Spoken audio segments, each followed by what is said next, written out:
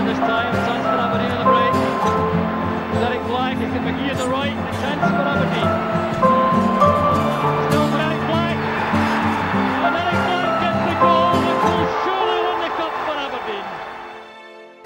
Then to the final itself against Rangers. In the lead up to the game, I mean, we'd beaten Rangers 4 0 out here the yeah. week before. But uh, people don't remember that time. Aberdeen lost quite a number of cup finals. The 1978 Scottish yeah. Cup final was a huge disappointment. Alex Ferguson lost two League Cup finals. So, uh, was it quite, you know, do you, what do you remember go, the build up? Was it pressure going into it? Or? No, I mean, I mean, Fergie had a habit. We we changed the routine for Scottish Cup. We actually used to train at the lads' club pitches. you imagine going to the lads' club pitch now at Woodside. So we used to do that before every Scottish Cup tie. We did that. And what was that just to make it different, different field Just to league game? slightly different, something different. We also went to Cruden Bay uh, for a nine holes I got train. Um, I actually went past there a couple of months ago to have a look, and it's just like like the pitch at Cruden Bay. I like the village pitch. So we went there and we trained in the morning, and obviously Alex McLeish scored a great free kick. You know, it was the ball came out. It wasn't a free kick.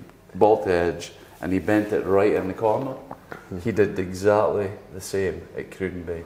Is that right? Honestly, it was absolute replica. Seriously? He did, and then we played one nine holes of golf at Cruden Bay, and then that was us. I think that was the Tuesday or Wednesday mm-hmm. uh, before before the cup final, and then we just uh, again it was a normal routine. We went down to the Excelsior Hotel on the Friday night, and then huge occasion, you know. And although Fergie had lost, it was still myself, Neale Cooper, John Hewitt, were first cup finals, mm.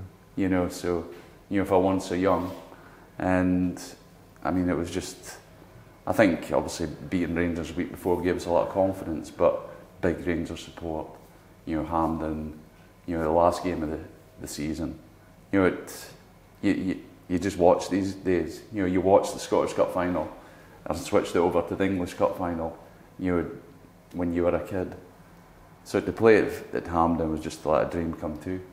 You know, the whole the whole city was excited about Aberdeen getting to the cup final and and we had a chance of winning a huge huge crowd, sixty odd thousand at at Hampden for the for the final.